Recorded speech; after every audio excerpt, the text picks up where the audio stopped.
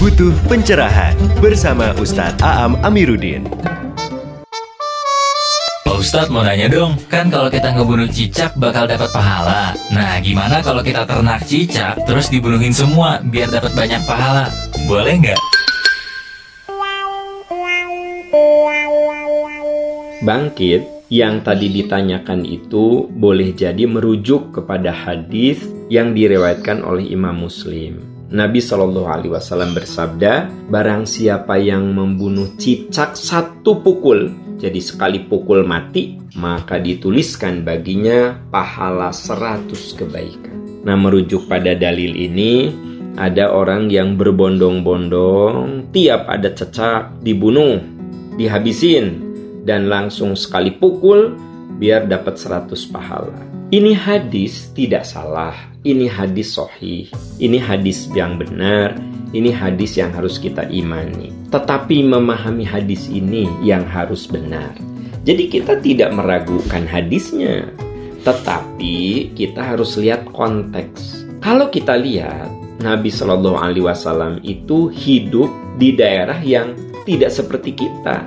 Jazirah Arab itu memiliki bioma gurun, kering. Sementara Indonesia memiliki bioma hutan dan hutannya juga hutan basah ya. Ada hujan yang sering, ada pepohonan. Nah, bioma gurun dan bioma hutan itu tentu akan membuat binatang pun berbeda. Tidak ada di Kalimantan unta, ya nggak?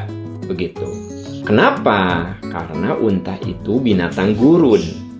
Nah, Nabi Shallallahu Alaihi Wasallam menyuruh membunuh cecak sekali pukul itu cecak gurun, cecak yang beracun, cecak yang menimbulkan penyakit. Nah, sementara cecak di kita itu cecak yang hidup dalam bioma hutan basah.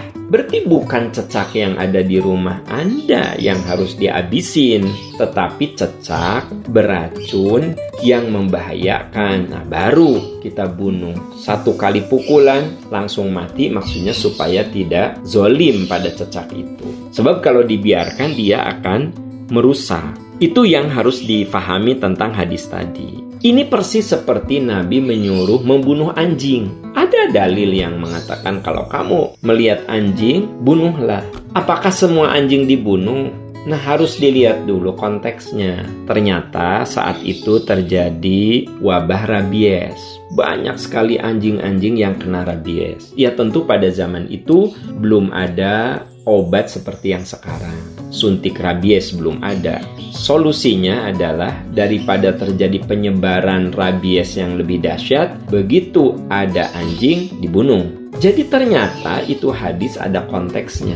Bukan berarti kita kudu bunuh anjing, bukan. Anjing yang membahayakan, yang mengandung rabies, kalau tidak bisa diobati, dibunuh. Kalau bisa diobati, ya obati. Saya cerita tentang anjing ini dianalogikan dengan cecak. Jadi cecak gurun yang beracun, yang membahayakan, itu yang harus dibunuh. Sekali lagi bagi Anda yang beternak cecak karena boleh jadi beternak untuk makanan binatang ya.